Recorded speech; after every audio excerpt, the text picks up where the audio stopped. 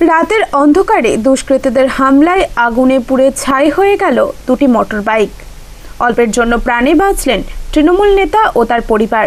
ঘটনাটি ঘটেছে বুধবার রাতে পশ্চিম বর্ধমান জেলার জামেরি অঞ্চলে। অভিযোগ ওই দিন রাতে সচিন নাগের বাড়িতে বেশ কিছু দুষ্কৃতী উপস্থিত হয়ে সদর দরজা ও পিছনের দরজা বন্ধ করে পেট্রোল ঢেলে আগুন লাগিয়ে দেয়। খবর পেয়ে ঘটনাস্থলে উপস্থিত হয় সালানপুর থানার পুলিশ ও দমকল বাহিনী। বাড়ির মালিক অসীম নাগ অভিযোগ করেন, দুই সিভিক ভলেন্টিয়ার দেখতে পায় ওই বাড়িতে আগুন জ্বলছে। স্থানীয় বাসিন্দাদের চেষ্টায় তালা ভেঙে তারা বাইরে আসে। তাদের অভিযোগ, দুষ্কৃতীরা তাদের মেরে ফেলার চেষ্টা করেছিল। খবর পেয়ে ঘটনাস্থলে উপস্থিত হন তৃণমূল নেতা মুকুল উপাধ্যায়, ভোলা সিং, শশীভূষণ পাণ্ডে সহ অন্যান্য দলীয় নেতৃত্ববৃন্দ। পুলিশ ঘটনার তদন্ত শুরু করেছে। ঘটনাটা হয়েছিল কালকে ষোলো তারিখ ছিল। রাত্রি সাড়ে এগারোটা নাগাদ আমার বাইক দেখে যে বাড়ির নিচে তলাতে গাড়িগুলো রাখা থাকে, বাইক রাখা থাকে আর তার পেছন দিকে আমাদের বোলেরো রাখা থাকে। তো বাইকগুলোতে পুরোপুরি আগুন ধরে দেওয়া হয়েছিল মানে ধরে দিয়েছিল দুষ্কৃতী দল।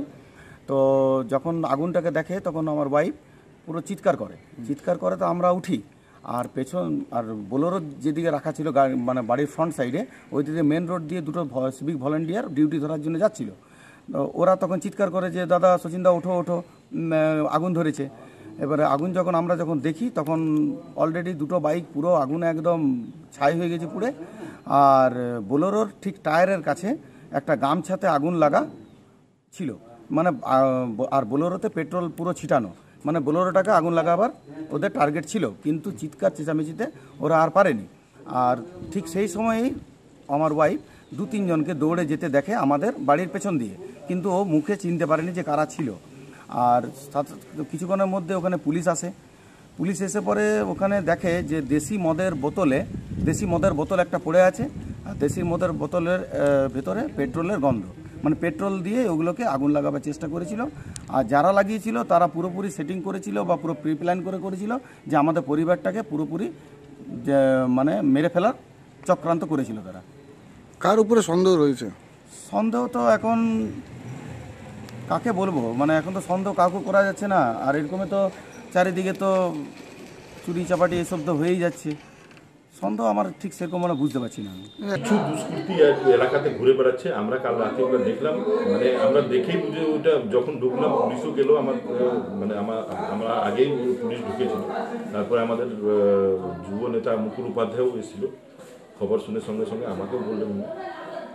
ওইখানে দেখার পরে পেট্রোল পেট্রোল ছিল ইতে মানে পুড়িয়েছে একদম কনফার্ম এটা দেখুন সমাজের মধ্যে কিছু দুষ্কৃতি লোক আছে যেটা মানে সমাজকে নোংরা করতে চাইছে। মানে এরকম করে একটা মানে আতঙ্ক ই করা চাইছে। লেকিন এটা আমরা বারদাস্ত করব না, এটা একদম পুলিশকে বলা হয়েছে, একদম অ্যাকশন নেওয়ার জন্য ইমিডিয়েট অ্যাকশন এটা চাই আমরা। কি মনে হচ্ছে কি মনে হচ্ছে কারা করতে পারে? কোন দেখুন এইরকম মানে কিছু দুষ্কৃতি যেই সেদিন ঘটনাটা হলো এক কিছু দুষ্কৃতি ছেলে আছে যেটা এটা করল মানে সেদিন এই ওই মৃত্যু মৃত্যু নিয়ে যেটা হলো যে মার- মেরে দিয়েছিল ওই ঘটনাটা কেন্দ্র করে কোনো এটাতে একটা ষড়যন্ত্র আছে যেটা পুলিশকে বলা হয়েছে বার করার জন্য।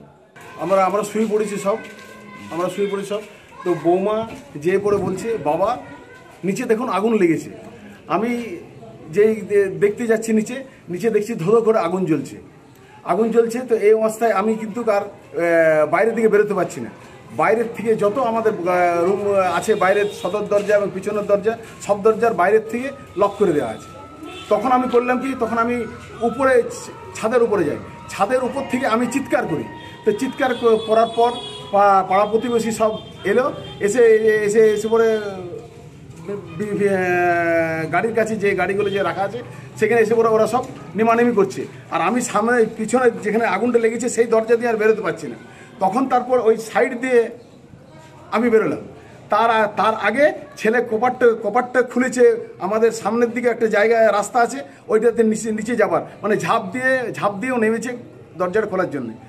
তারপরে ওখান থেকে সিপিএফ পুলিশগুলো তারপর দেখছি ওখান থেকে বলছে আমরা পাঁচ মিনিট ধরে আমরা চিৎকার করছি তোমরা কেউ বেরোচ্ছিলে না আমরা দেখতে পাচ্ছি আগুন থেকে কী করে বেরোবে। তারপরে ওই পাশের বাড়ি থেকে একটা হাতুড়ি নিয়ে আসা হয় তারপরে ওই গেটটাকে লকটাকে খোলা হয়। তারপরে তারপরে দেখা যায় যে এই এই আমার পরিস্থিতি ঘরে। আচ্ছা কি কি ক্ষতি হয়েছে? ক্ষতি এই দুটো মোটর সাইকেল এইখানে আসবাবপত্র ছিল তারপর এখানে সব কিছু ছিল এই এই সামনাসামনি যা আছে এইগুলোই সব ক্ষতিগ্রস্ত। পুরো লাইনটা তার তার মেন্ট লাইন লাইন যেটা এসছে বাড়িতে সেই তার জ্বলে টলে সব কিছু হয়ে গেছে। কি মনে হচ্ছে আগুন লাগিয়ে দিয়েছে ওটা একদম হান্ড্রেড পার্সেন্ট শিওর এই জন্যে যে আমার বাইরের থেকে আমাকে লক করে দেওয়া হয়েছে। আর দ্বিতীয়ত কাল যখন নিচে নেমে পড়ে আমি দেখছি তখন দেখছি ওইখানে একটা সে হিরো সিক্সটি বোতল ওইটাতে পেট্রোল পেট্রোল পাওয়া গেছে। আর পেট্রোলটা পেট্রোলটা যে পরে আমাদের সামনে সামনে যাচ্ছি তো পেট্রোল তেলের খুব গন্ধ আসছে। মানে ওইটাতে পেট্রোল তেলটা দেওয়া হয়েছিল জাস্ট আগুনটা লাগানো হয়নি। আসানসোল থেকে সৌমিত্র গাঙ্গুলির রিপোর্ট আনন্দ বার্তা